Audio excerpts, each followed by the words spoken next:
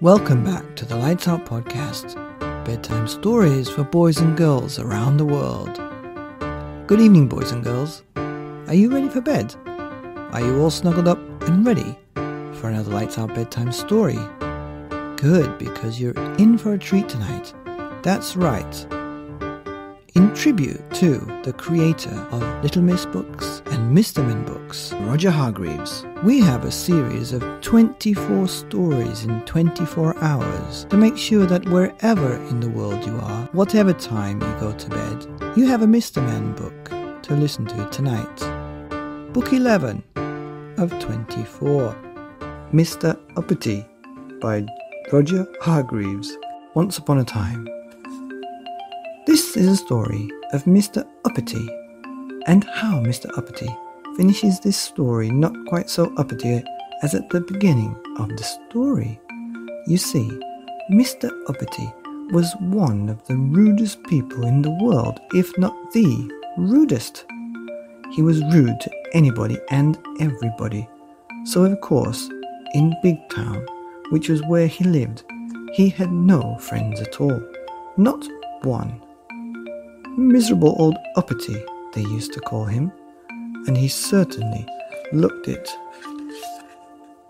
Now, as well as being rude, Mr. Uppity was also rich, very rich, one of the richest people in the world, if not the richest. He had the largest, longest limousine in Big Town. He had the largest, longest garden in Big Town. He had on top of the hill in the middle of Big Town, the most enormous house, the biggest house in Big Town. And there he lived, all alone, miserable old Uppity. One day, Mr. Uppity was walking in the gardens of his enormous house when he suddenly heard a voice, a little voice. Hello, said the voice. Mr. Uppity looked and there, in one of his hundreds of flower beds, was a goblin. Aren't you going to say hello to me? asked the goblin. Go away, said Mr. Uppity rudely. Oh, I know who you must be, said the goblin. You must be Mr. Uppity, who's rude to everybody.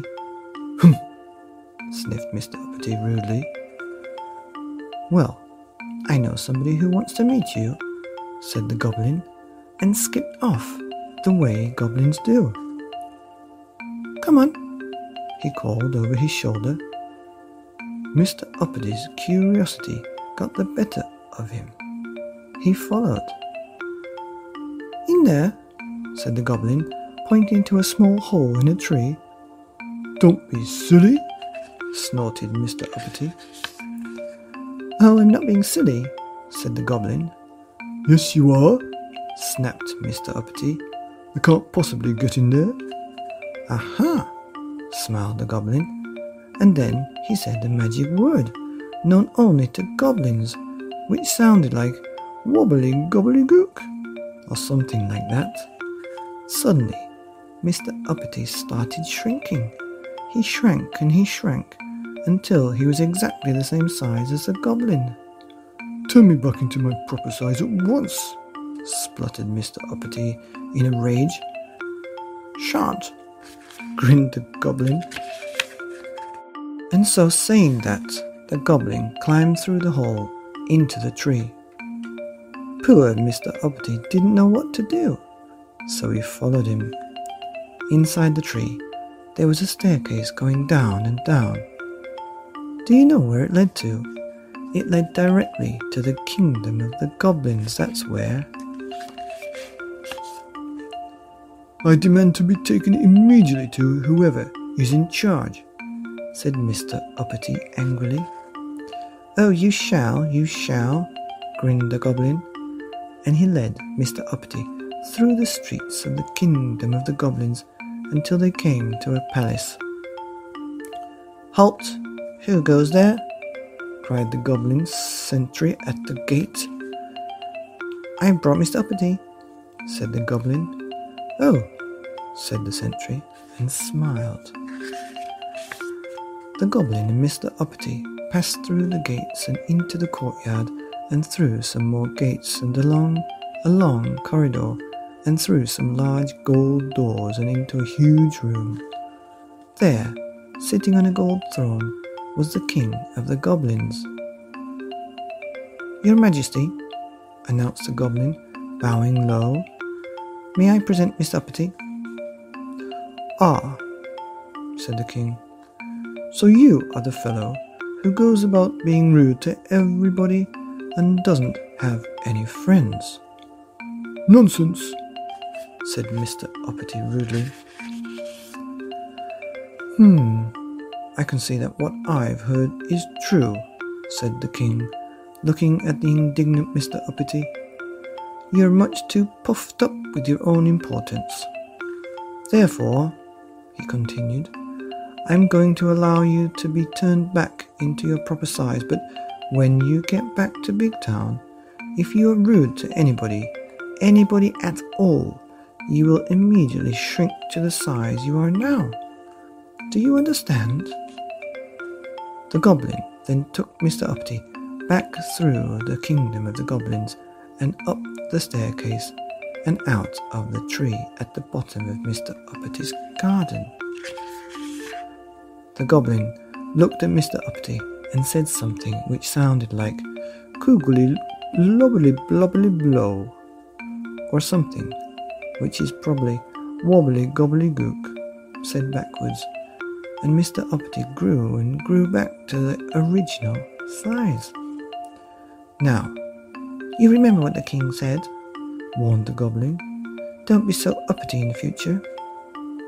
Mr. Uppity marched off furiously up to his enormous house. The following day, Mr. Uppity was out walking through the streets of Big Town. Suddenly, he came across a little boy playing with a ball. Get out of my way, snapped Mr. Uppity rudely. But as soon as he said it, you know what happened, don't you? Yes, that's right. Mr. Uppity shrank and shrank until he was no bigger than the ball the boy was playing with. Oh dear, he gasped. And then he thought, I'm, I'm sorry, he said to the boy. What I meant to say was, please could I get past? Immediately, Mr. Uppity grew to his original size and the boy moved and Mr. Uppity went on his way. Then he met an old lady carrying a large shopping basket. She was late for the market. Excuse me, she said to Mr. Uppity, could you tell me the time, please? No, said Mr. Uppity rudely. But as soon as he said it, you know what happened, don't you? Yep, that's right. Mr. Uppity shrank and shrank until he could easily have fitted into the old lady's basket. Oh dear, he gasped, and then he thought. Oh, I'm sorry, he said to the old lady. What I meant to say was, oh, it's 25 past 11. And immediately Mr. Uppity grew to his original size, and the old lady thanked him, and Mr. Uppity went on his way. Then he went and bought a newspaper from a man standing on the corner of the main street in Big Town. He was just about to walk away when suddenly he stopped and thought, Hmm. He turned back to the man and said, Thank you. Thank you were two words Mr. Uppity had never used before. The man smiled. A smile was something Mr. Uppity wasn't used to getting. Then Mr. Uppity was stopped by a man who asked him if he could tell him the way to the bank. Mr. Uppity was just about to say no when he thought. Yes, he said, and told the man. Thank you, said the man. Thank you were words that Mr. Uppity not only had never used before, but were words he had never even had said to him before. Mr. Uppity smiled and felt happy. Happy was a feeling Mr. Uppity wasn't used to feeling. He liked it. And do you know, from that day forward to this day backwards, Mr. Uppity is a changed person. He's still the richest person in Big Town, perhaps the richest person in the world, but now he has lots of friends and he smiles a lot and he never gets that shrinking feeling. And do you know which words Mr. Uppity uses most of all these days? Please and thank you. So, what we'd like to say is, thank you for reading the story. And if you're ever thinking about being rude to somebody, please keep a sharp lookout for goblins. The end of Mr. Uppity by Roger Hargreaves, here on the Lights Out podcast. Bedtime stories for boys and girls around the world. Thank you for listening. The end. Good night, I should have said. Good night.